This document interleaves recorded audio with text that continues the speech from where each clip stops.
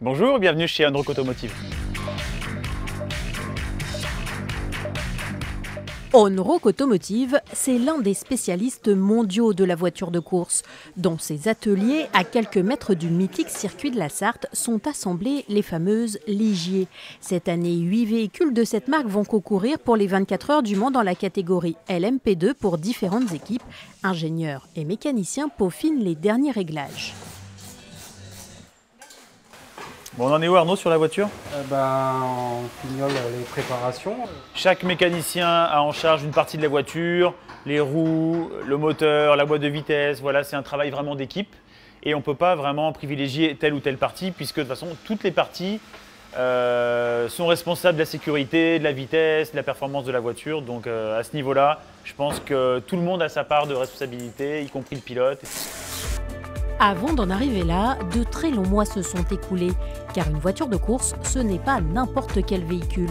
Le prototype doit répondre à des critères très précis fixés par les organisateurs des différentes compétitions. De nombreuses étapes sont nécessaires avant de commercialiser ces bolides.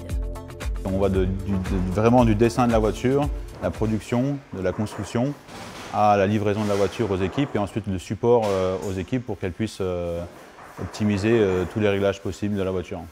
Là, je pense que le développement de la voiture, hein, enfin, tout le kilométrage que tu as pu faire dans la voiture, ça a été bénéfique parce que Tout un travail d'équipe qui alterne études, réglages et essais, un dialogue permanent entre ingénieurs et pilotes. Les ingénieurs connaissent la voiture par cœur, ils l'ont réalisée. Et puis nous, en tant que pilote, on doit euh, confirmer aussi tout ce qu'on voit sur les ordinateurs. Euh, toutes les sensations qu'on a physiquement, elles se... on doit les retranscrire. on monte pas personnellement dans la voiture, euh, pas à 300 km/h, voire plus euh, sur certains circuits.